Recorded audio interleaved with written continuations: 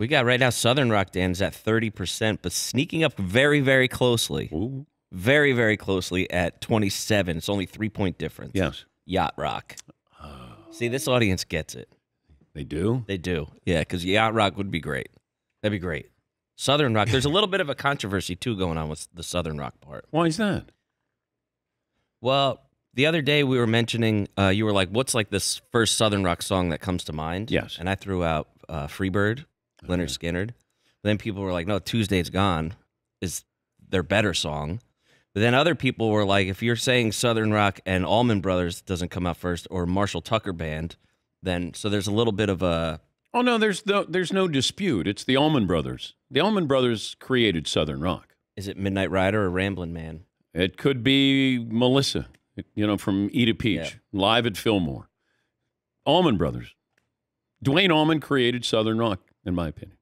My humble opinion, by the way. Okay. But you can throw in Marshall Tucker, you know, This uh, feels almost like we're Skynyrd. we might get a stay in our lane. Oh, I'm sure you will. I'm, I, look, when that happened uh, with Green Day, what did I do? I went to the Rock and Roll Hall of Fame to look at Green Day's exhibit. educated yourself. Yes, I did. A- And you know, I was still right about Green Day. Shouldn't Creedence get more love in that Southern rock conversation?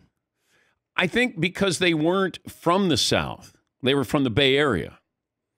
Even though they sound like Yeah. they're from the South. I mean, John Fogerty's voice Mm-hmm. is unmistakable, but it, they're not true Southerners, I guess. Yes, Paul. It's kind of like Jeff Gordon coming from California, becoming a great NASCAR Yeah. driver. He was still from California. Not Yeah. real. Took a while to embrace. Yeah, yeah, not real, not authentic.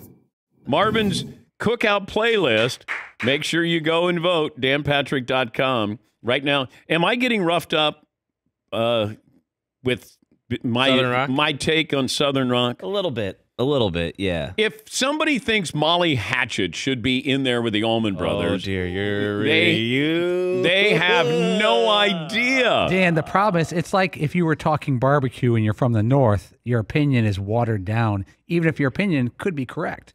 You're talking Southern rock and you're from the north, you're not going to get a, a lot of help. I played this music. I played Molly Hatchet. I played Skynyrd. I You, you played. didn't live it.